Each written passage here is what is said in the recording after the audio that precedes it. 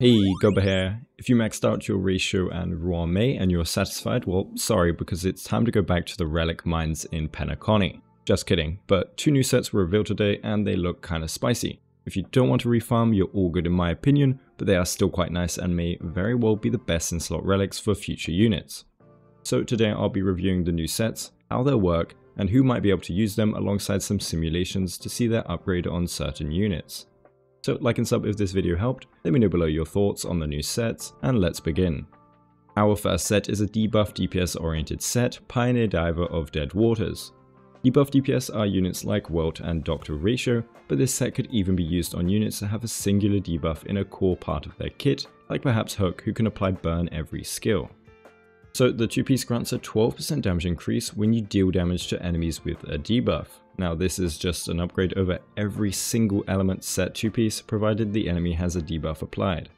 With the large variety of amazing debuffs we have and their easy application, I can see this being used as a universal and easily farmable 2 piece combo set. Why farm imaginary 2 piece when you can just farm this? It won't be a massive upgrade, only 2% damage, but it just means easier access to a stronger boost for many DPS. Characters that can enable this 2-piece full DPS are damage amp debuffers like Pela, Silver Wolf, Welt, and Guinaifen. But again, debuffs are quite common, so even a break, a damage over time, or even an ultimate mark from Ruan-Mei can trigger this for you. You will want high debuff uptime to not be missing out though, because whilst 12% damage is really nice, a lack of it in a few turns will be a DPS loss over the 2-piece elemental sets. A thing to note is this damage percent is universal too, it's not tied to an element. This means for weird cases on DPS that use Ting Yun, you get a tiny little extra power. Benediction procs use the buffed ally stats including damage percent, but not their elemental damage percent unless it's for lightning. So converting 10% unusable imaginary damage percent for ratio plus Ting Yun onto 12% usable damage percent is a niche little bonus for Benediction procs. 4 piece is like the imaginary set, but a bit different. First you get 4% crit rate, then if the enemy has at least 2 debuffs, the wearer's attacks will gain 8% crit damage. If the enemy has at least 3, this goes to 12%. So in total already, by hitting an enemy with 3 debuffs, you'll get 12% damage, 12% crit damage, and 4% crit rate, which is not bad. However, right now this is competing with the imaginary set's 10% crit rate, which is equal to our current crit buffs. Again, this is much more accessible and not tied to imaginary DPS, but still. After the wearer inflicts a debuff, however, these two crit buffs will be doubled for one turn. You now will get 8% crit rate and 24% crit damage. This is also equal to the imaginary set's total power and crit value, but you get it significantly easier. There's no more hoping to break with an imaginary unit or relying on Welt, and any debuffer DPS can run this too. So if you apply a debuff every turn on the core part of your kit, you are now getting a permanent 12% damage, 8% crit rate, 24% crit damage very easily. It starts doubling after you apply a debuff, so even if your attack applies a debuff at the end of the attack rather than before the attack, it won't matter. That first attack may be a little weaker, but provided you keep debuffing, this 100% bonus will stay on your character. It can also apply from just applying debuffs, it doesn't state that you have to do it during an attack. So who can use this? Well, the 2-piece is usable on any DPS that doesn't traditionally use a 4-piece as their best in slot, or if they use a 4-piece but it's not that much stronger than a 2-piece mix. You can use this as a universal and easily farmable combo for them, Furthermore, you can now mix two damage percent sets with a 2-piece element set and 2-piece pioneer. Damage percent is very strong and on most characters and situations will be beating out a 2-piece attack percent. The 4-piece is a bit more niche, if you have tons of debuffs on enemies, well then anyone can use it really, but the 4% crit rate and 8-12% crit damage isn't necessarily that OP.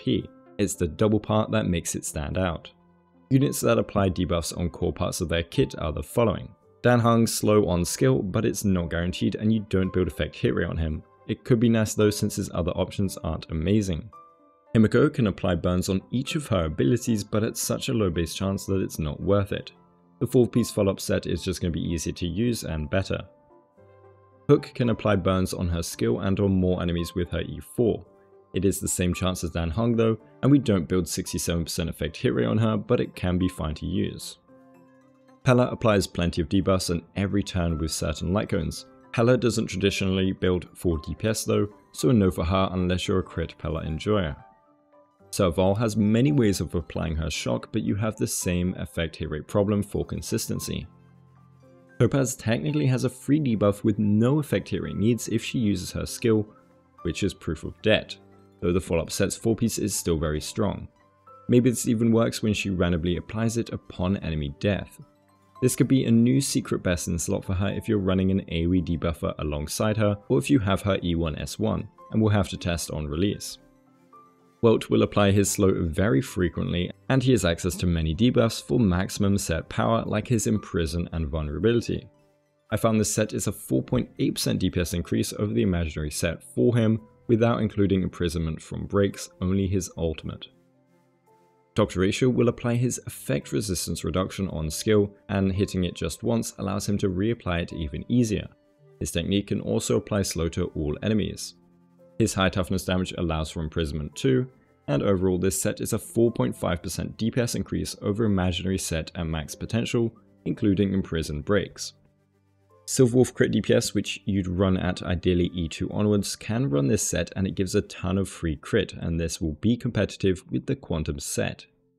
I won't be covering the dot units since they don't build crit, but Guinaifen can help a unit with the conditions as well as making it easier to apply their own debuffs with her E1 bonus. If I missed anyone though, let me know below. The second set is the Watchmaker Master of Dream Machination set, and it is a break effect oriented set, being a variant of the 4-piece Thief of Shooting Meteor Relics we all avoided farming. The 2-piece bonus is a very simple 16% break effect. This is good for Ruan Mei, and so far that's pretty much it. Break DPS can use this 2-piece in combo with the Thief set, but Xueyi for example would much much rather run 4-piece Quantum instead. Nonetheless, we can now stack 2 break effect 2 piece combos to avoid farming even more Thief, just you won't get the random 3 energy drops. The 4 piece grants all allies a 30% break effect buff for 2 turns when they use their ultimate on an ally. This is important to remember, it's on ultimates on allies. Don't worry though, this works on Ruan ultimate just like Hackerspace. The normal way of telling if this can work on a unit is by seeing if their ultimate puts a reticle over an ally before casting. Ruan does indeed target allies when applying her buffing field. This means for example Pela, who targets enemies during her ult, can't use it, so no more 4-piece Hackerspace Pela please. Silverwolf can run a break effect build, but her ultimate targets enemies too, so don't run this on her. So not only is this 14% more break effect total than the full shooting meteor set's power, it also grants bonuses to all allies. Although break DPS aren't common right now, even just having 30% break effect on a DPS that has none of it originally means a 1.3 times damage increase to any eventual breaks and break dots. This buff should work like Hackerspace in that it gains a grace period and won't tick down on the acting ally when it's applied. For example, if I skill into ultimate with Ruan Mei, I'll gain the 2 turn buff but won't lose it on that first turn, allowing for more uptime on this buff. Either way, for Ruan who can have a 3 turn ultimate, this can be a near permanent 30% break effect, and in total you'll now get a 46% break effect buff from this relic set, reducing your build requirements by a ton. Including her traces and trace passive, you'll only need 77% break effect in substats, or 13 subs. When considering memories of the past, you drop to 3 to 4 substats. Do be warned though that she will have downtime on this buff in a longer fight, and using it to save stat requirements is only good if you time your turns of burst damage outside of this. If you drop to 150% break effect, you lose an 18% team-wide damage buff, and if you run a 4 turn rotation, you'll definitely want to be at 160% break effect before this 30% buff from the 4 piece, because there will be too much buff downtime. Other buffers can use a set as it's just a more offensive version of Hackerspace, a set that is annoying to pilot and can mess up rotations and the speed buff isn't even that amazing in most situations. Running this on Bronya for example will bring some potential extra damage boosting power over the usual nothing, but you will lose out on the Hackerspace 2p speed which is pretty big, so it's up to you. Also, refarming all those speed stats on a new set does not sound fun. For the future though, I could definitely see buffers just running this set to let DPS's breaks pack more of a punch, or to increase delay on imaginary and quantum breakers. I know Xueyi would love this on her team. So let me know below if I missed anything or if you're going to end up farming these sets and on who. Thank you to all my amazing YouTube members, thanks for watching and have a good day.